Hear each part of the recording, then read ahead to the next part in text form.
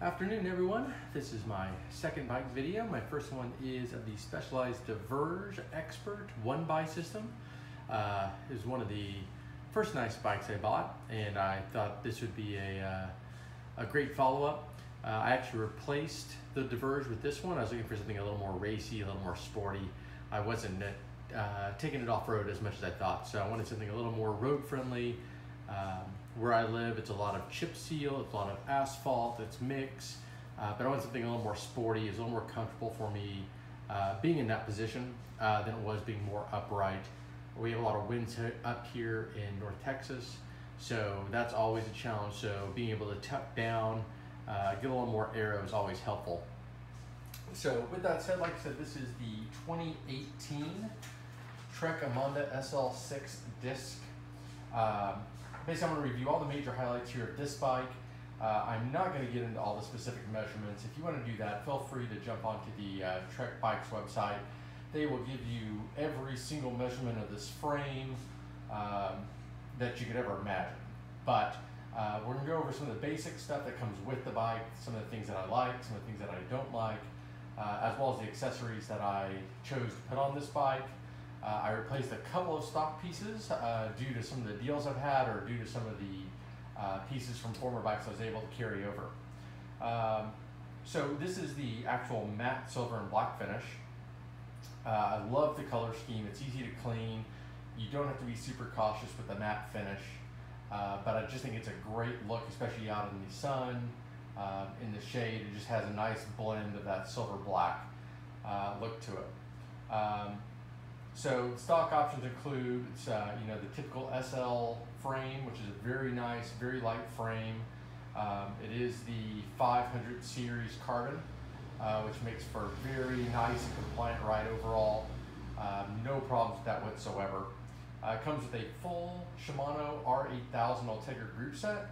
The best thing the Trek does and has been doing recently has been making sure that the entire bike is specced out with the same group set when you get into this level of bike.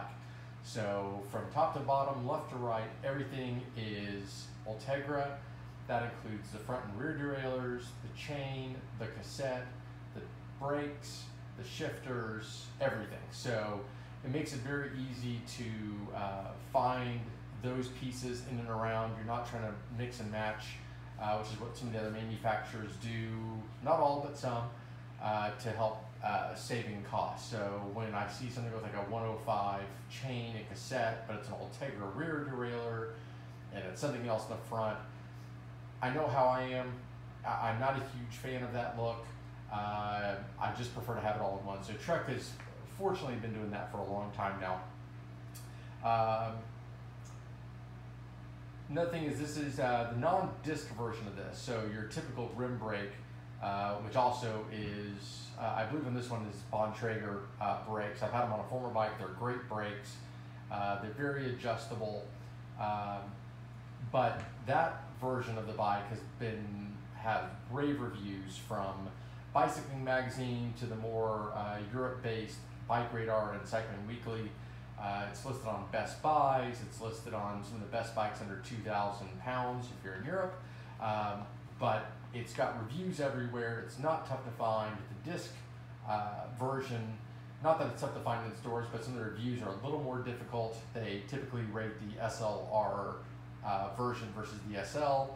Uh, the SLR obviously gets you a slightly better carbon layup. Um, it usually gets you a Dura Ace mechanical at minimum.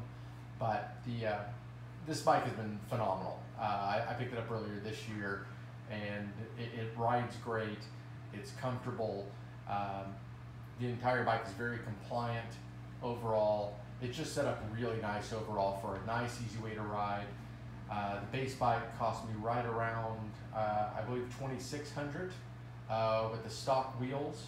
Uh, but everything else, you know, I kind of carried over. So a lot of people do that with uh, old to new bikes. They'll carry over bottle cages, computers. I did the exact same thing. Uh, so I only had a couple little pieces here that cost me uh, a little more money. Um, going on to the next main part here is if you do find the reviews and it is the SLR uh, version, it's going to cost you a couple thousand additional right off the bat. You are going to get, I believe, a 700 series layup of carbon, which is kind of their upper echelon of carbon layup. But I see no problems with this. Uh, this is the 56 centimeter uh, version of it. But to save yourself a pound and a half roughly and to spend an extra two grand for me that just didn't make a lot of sense the the benefit of the features of this bike and how closely they are related to the SLR uh, made this kind of a no-brainer for me I love the colors on this one so uh, it spoke to me I had a good deal uh, with the local bike shop here so shout out to Richardson Bike Mart um, Colton Hopper is the uh, sales manager there. He really worked with me uh, on this bike, which uh, he's been a good friend of mine for a couple years now. So shout out to them and, all the guys there. They, they've been phenomenal with this bike. They've really helped take care of me. Um, but yeah, this is the, I, I chose the SL uh, six disc. I wanted the disc braking for some of the you know wetter days here or the mud weather here but it's been it's been phenomenal. I've had it since the early spring, so I thought now after several hundred miles would be a smart time to review it. Uh, total, this bike weighs around 18 pounds, uh, so it's still fairly lightweight for what it is. I know it's a climbing bike, but 18 pounds, and that's with the pedals, that's with the bars, that's with the computer, lights. Uh, I did not have the saddle bag for that measurement, so at 18 pounds, almost fully loaded without the actual bottles, uh, I think is, is, is fairly uh, competitive with everything in the price category. Um, so going over the bike here, like I said, there's always some things that you love and hate about every bike unless you're uh, getting it customized for you right off the bat. But at this price point, you kind of get what you get. Uh, so I wanted to make sure that I maximize those dollars. Um, looking over the bike here, I'm going to pick this thing up and try and keep it as stable as possible.